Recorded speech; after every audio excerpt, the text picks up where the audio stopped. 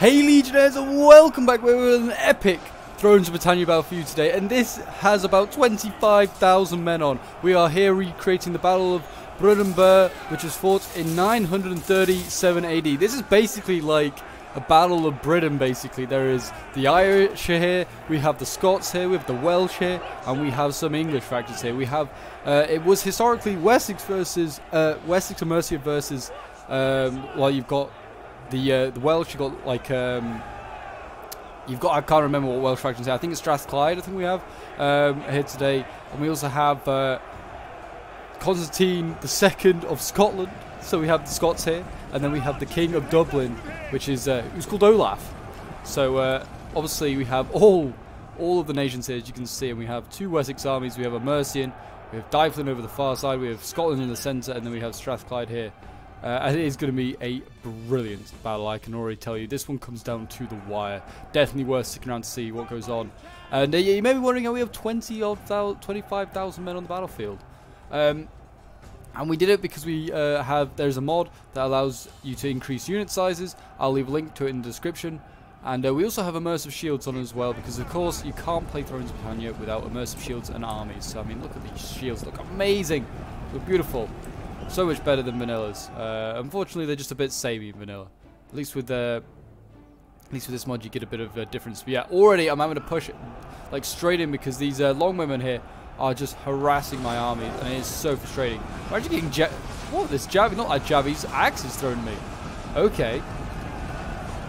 Are they gonna go flying on in, or are they just gonna stand there? I think they're just gonna stand there. Well, we're, we're fighting over here. So here we go. The first bit of battle is about to begin. I think I have some Fyrd Axemen, yeah, facing some uh, uh, some spears, basically, some just cheap spears. Um, but yeah, if this was a scenario that was set up on my Discord, if you want to get involved in uh, in like some action on Discord, if you want to play some Thrones of Britannia or anything else, uh, feel free to uh, join the Discord. The link's down below in the description. And also, don't forget to leave a like, subscribe to me around here, and a comment to show your support. As always, guys, it's really very, very much appreciated. Um, but yeah, as you can see, currently I'm moving over lots of swords, lots of these more like elite units. I have male Sexes here. They're going to move up and attack these uh, Welsh swords. I'm trying to basically just take on units I know I can win. Other areas like these Fyrd spears and stuff, they're just going to try and hold this like, entire line in place. Currently they're getting focused as well. It's like, yeah, a bit nasty. But yeah, I'm also trying to move over some more male Sexes along with my Royal Huscarls, and I'm going to try my Royal Huscarls and try and punch a way through. These boys are elite. Got the big axes, they're mailed up, ready to go. They're going to be nasty. Uh, yeah, my archers are getting absolutely focused on these militia Fyrd archers, which I got given. Just no match to the longbows. They don't even have the same range. So I was like, you know what? I'm going to go over here and I'm going to go and help my ally uh, take on the Scots with his archers. Because he's doing a better job. He's taking out these crossbows very, very nicely. Um, Mercia has also clashed over on this side. I haven't really seen what goes on on the other side. I was so focused on my side. Um, I didn't really see what was going on over here with Mercia, but Mercia seems to be holding a solid spear line. Marcher armored spears are losing. He seems like he's losing all across the entire front. Um, the Vikings, or like Dyflin, which is the Viking faction here today, um, have a lot more axes than anyone else. Most of the factions don't really have axes. Just they have more swords and spears today. I mean, I've got obviously some Huscarls, but that's about it. A bit, yeah, like Berserkers and stuff like over here. Berserkers and Eastern Huscarls. These guys are to rip through these Seax warriors. Um, unfortunately, yeah, they're just not to be a match. You can just see like the bear on the hat, on the head there. This is awesome. It really does. Let's actually turn it this way. Look, oh, so much nicer from this angle. Beautiful.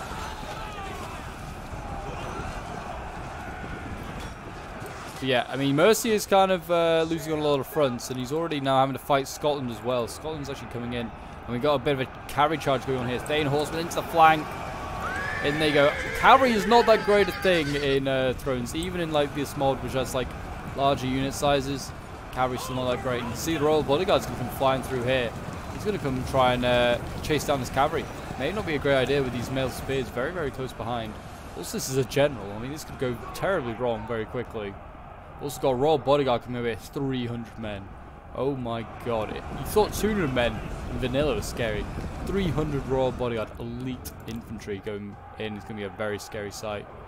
Uh, I now send in my... Um, these uh, mailed Thanes.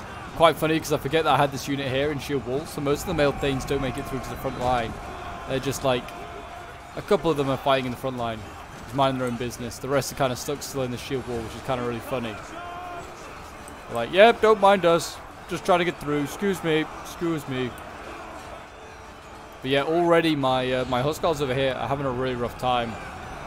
I'm a mailed sixes actually. These, just, this entire flank's having a really rough time. Welsh mailed axes are just doing a very good job.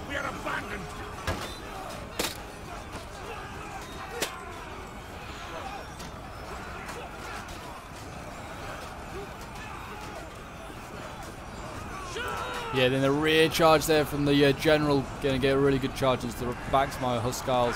I mean, Huskarls are pretty susceptible to cavalry charges, I feel, especially this cavalry. This is elite cavalry here. Though at the same time, it's always a risk charging into a, a unit with a big, old, uh, a big old axe, and you're a, a cavalryman. There's a big risk of being cut down, just like that chap there. Now you got the uh, the centre Wessex army that is starting to, uh, to push on the on the Scots. Thing is though, even if you're like losing with a unit, like losing decisively, it takes forever for that unit to die because there's 200 plus men in the unit. So it's even still, it's hard to cut down. Old bodyguard over here is like kind of in behind enemy lines. Kind of a bit of a risk. There's a big gap in the line here that you could go through. Like Dyflin is, uh, Dyflin and Scotland aren't quite joined up, and yeah, you could go through this gap here, and you can get in behind, get after all sorts of stuff. I mean, there is reserves coming up, so maybe isn't the greatest idea. King's Blades being sent up. They're going to probably try and block this gap. I mean, what are the numbers looking like right now? 10,700 versus 10,500. Men already breaking. Oh, my Royal Huskarls already breaking. Never a good sign. Never a good sign. Over here, my other Royal Huskarls doing okay.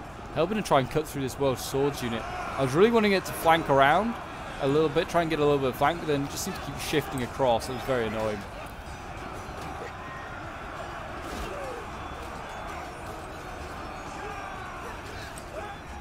Not really sure how these Welsh swords are really holding on. I'm very annoyed by it. What we've got in here now, Thanes getting rear charged as well. They're taking on like three units currently. I mean, this is something that you don't want to do, I realise later on in the battle. To have multiple units of your own fighting one single unit. You want to have as many units fighting as different, like, in different places as possible, where you think you're going to win. Um, because, like, you just want to try and break through one spot. You want to break through one spot and get that advantage, that unit advantage. Like, currently over here, for instance, I mean, in fairness, they've also sent in two, but they, they have mailed Thanes and Fyrd Axemen here. I just need to pull one of them out, and then I'm a unit up, because I have two units in there currently by my one. I just need to try and break through somewhere else, but I mean, currently, this, like, line is just, like, spears and axes. It's just, I mean, these are levy axes. Apparently I just don't believe I could go through them. I don't think I could because I think what I had facing was Levy Spears, which was no better. And also the Welsh will form shield wall, so it doesn't seem like they're wanting to attack. They're wanting to be a bit more on the defensive. Anyway, we'll go and check out elsewhere. Mercia right now is having a really rough time. Like his army is starting to rout in a lot of places here. And uh, he is not having a good time. Male Long Axeman as well, yeah, being beaten out here. This is a pretty good unit as well.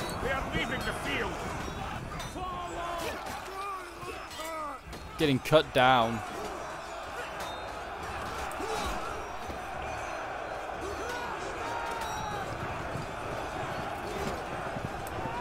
They broken. It's a shame. Mercy, yeah, Mercy kind of running out of troops. He's got his Royal Thanes next in the line to go, and that's kind of like it. His general's well and truly committed now. He's wrecking lives, taking on these Albanax warriors.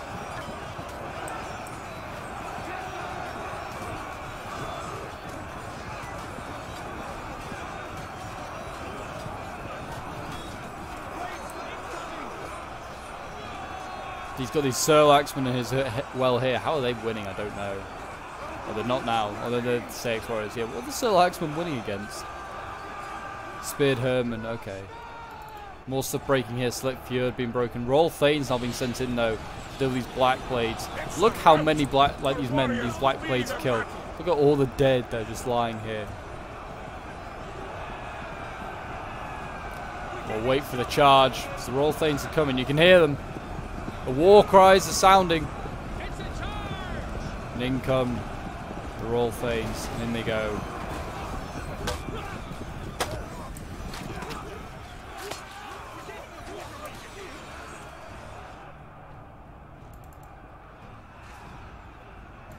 yeah, over on this side, still kind of a bit of a uh, bit of a close one, put it like that. We've got uh, Earl Spearman now going in and trying to just pin down this general, try and stab him as much as possible with my spears. I'm just getting really annoyed at this general who just keeps getting away from me. I am killing his, some of his cavalry though. Like he is losing quite a lot now. He's wavering. Look at that, he's wavering. It's a big win for me. I was like trying to desperately chase him down, get him uh, off the battlefield. If I could get him off the battlefield, there was hope that maybe I could just start to chain route some of these troops. Certainly like the lesser ones here. I got Earl Thanes here. They're going in against Welsh Axemen. They should be able to win that fight. I mean, look at the difference in armor. One's not wearing any, one is.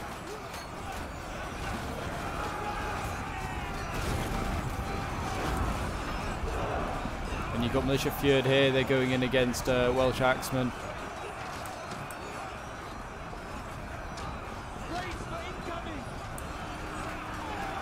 I mean, Welsh Axemen will probably do okay in that fight. I mean, they're only against Militia Sphere. Yeah, the Fyrd Spearmen here not doing that great. They're even lower than these uh, Militia Fyrd. There's a bit of a gap now opening up. My uh, my Fyrd Spearmen here may be able to try and do some damage. I mean, I'm not looking that great on this side, though. My general's over on this side. He's winning, though. But uh, yeah, it's not looking so great on my side. I'm actually starting to get a little bit worried. My Mailed Thanes are, though, breaking through. I mean, I don't think I've actually broken many Strathclyde, if any Strathclyde units at this point. I think I'm about to break one here. But yeah, I've actually lost a lot more on this side. And uh, at this point, Mercy is kind of looking a little bit rough as well. I mean, he's winning in some areas. He's starting to break some of Dyflin's troops, like the Great Axes. Um, he's, he's still getting broken in quite a few areas. It is looking very, very close on this side. Scotland look like, looks like he's doing a good job of holding back Wessex as well.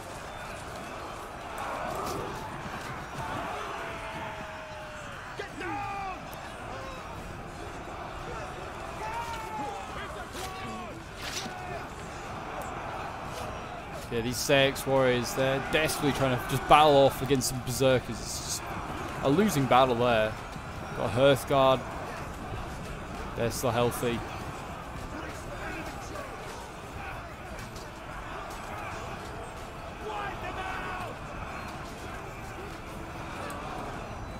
And in comes Eastman Champions. That's the last thing was. Oh, good rear charge going to go on here from Eastman Marauders. We go in the back into some of these uh, Mailed Thanes of uh, Mercia. These guys going to get cut down.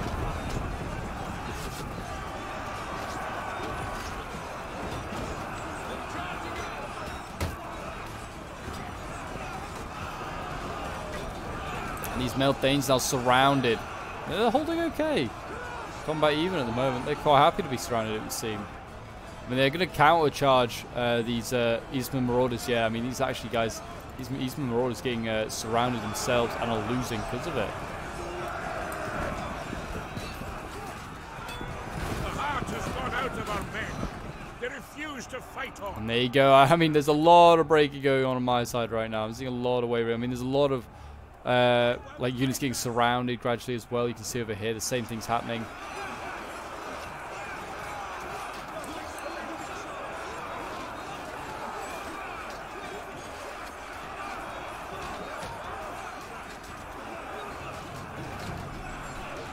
Will the uh, will the Welsh, the Scots, and the uh, Irish change history? I wonder.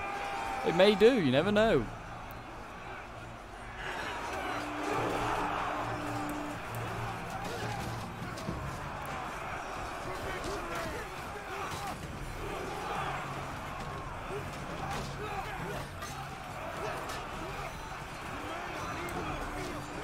It looks like, I mean, Scotland's making a big offensive here. You can see he's routing uh, like Wessex's troops again.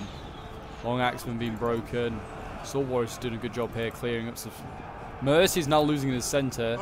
He's somehow, I don't know, he's rallying troops to try and put out fires everywhere, but I don't know. I don't know if it's enough. The general is dead though. I think. Oh yeah, this is uh, Scotland. Scotland's general was way behind enemy lines. Like way back here because he had to do some charging. Been charging stuff and he didn't get focused down by uh, by archers here, select archers, getting taken out. And uh, now he just, I mean, Scotland's going to have a a dip in morale, you imagine.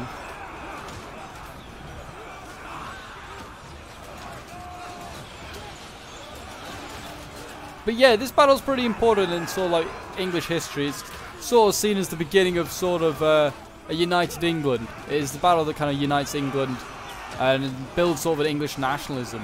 Not quite sure why. I think it's just part of the Viking invasions of, uh, of England is um, is this battle. But yeah, the Scots and the Welsh kind of get involved for some bizarre reason. But uh, yeah, it's a Certainly a, an epic one. Put it like that.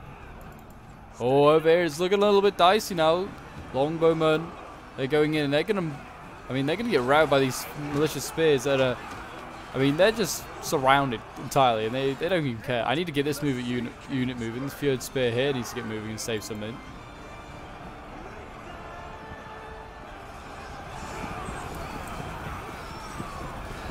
My general is... Uh, He's winning decisively, thank God.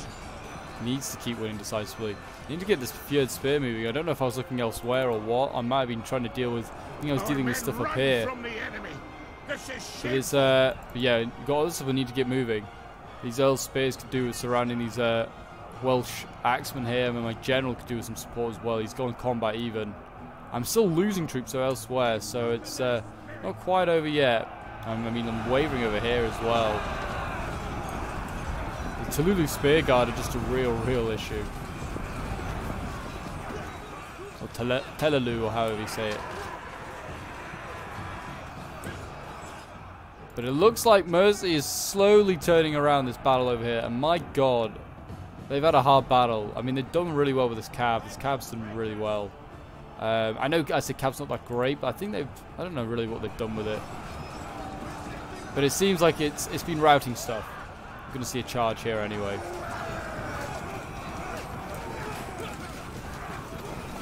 Nice rear charge. Yeah, he's Eastman Champion's getting reduced. Look at that, down to 78, and they're wavering. Yeah, the Cavs been huge then in uh, changing this battle around there for Mercy. I mean, they still got their Hearth Guard alive, have uh, Dyflin, but only just. The Scots over here, um, there's isolated units everywhere, really. I mean, it's it is slowly shifting in our favor. It's now 4,600, 4,500 against two, uh, 3,200. So it's not it's not that over and done just yet. But I mean, the Scots, they've got probably one of the freshest armies left. They need to do a lot. I mean, Strathclyde's got a pretty healthy army as well. Scotland has no general, though, we have to remember. So that is going to be a problem. Even though they're probably one of the stronger armies left.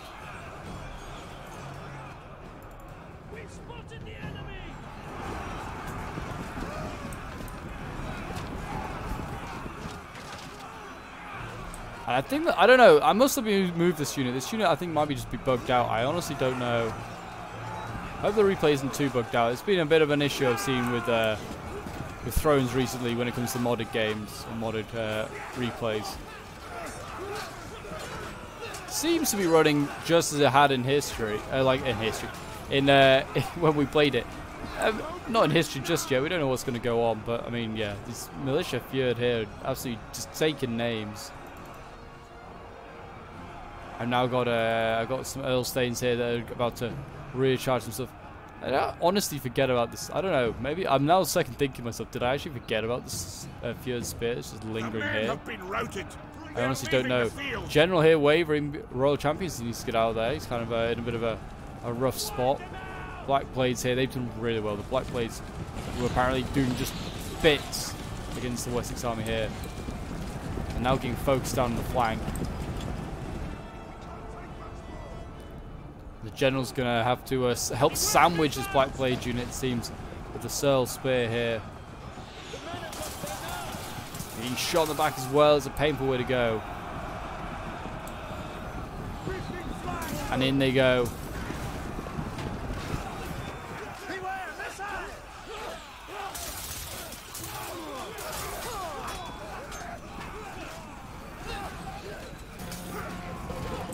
they broke them black, those black blades very easily after me just uh, talking about them and saying how great they are.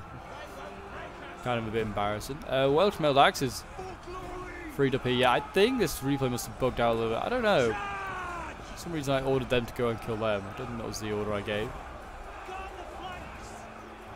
But anyway, we will see. We will see how it goes. But Mercia has looked like he's going to beat uh, beat. I think, yeah, it must have bugged out bit because his Hearthguard would have moved on by now. I don't think Mercy would have just left them to their, to their own devices like that. So that's unfortunate that it has bugged out a little bit. But, I mean, it's kind of going the same way as the battle did in the uh, when we played it live. Strathclyde is kind of getting uh, beaten back. It is now just down to really Strathclyde. Scotland's kind of gone.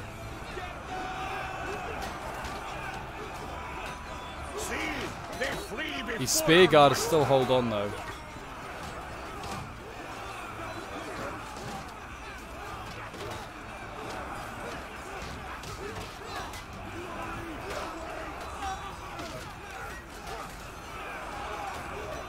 Our men have turned tail and run, the cowards.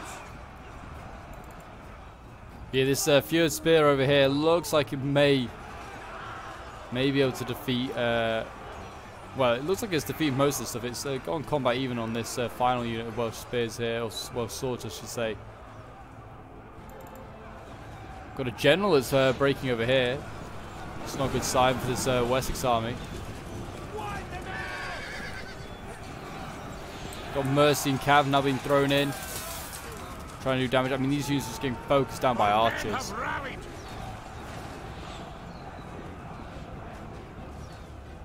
And Mercy's making his way over. Come and deal with what remains of Scotland. But it seems like, uh, yeah. I don't know really what's going on for this last bit. Like I said, the replay's kind of bugged up a little bit. But it is going to go, like I said, like it did.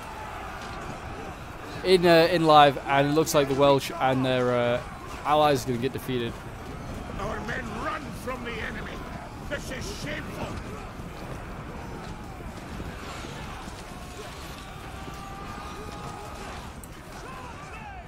My general's still holding on. I don't know how. 126 men. Yeah, the replay's definitely uh, like broken because I lost my general about this point with about a minute left in the battle to go. And he a lot less men. Had a lot less.